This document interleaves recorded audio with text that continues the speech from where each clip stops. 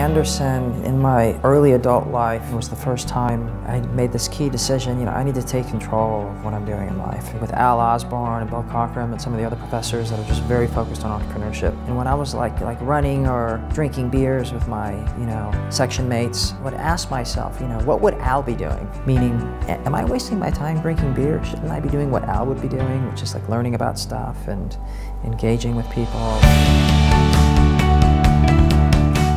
Have an obligation to give back. I want to make the world a better place for my daughters, and so we support not only velocity. Al says it's not just the treasure, it's the time. At the accelerator downstairs, I'm engaged more with my time there. I think back then it was like a $100 billion market cap company. And we were saying, okay, if Google is this big, can we carve out a piece for ourselves? The one thing we've learned in China is to have an appreciation of our history. I'm very grateful for my past and the opportunities that were given to me. I hope to return those favors to Anderson.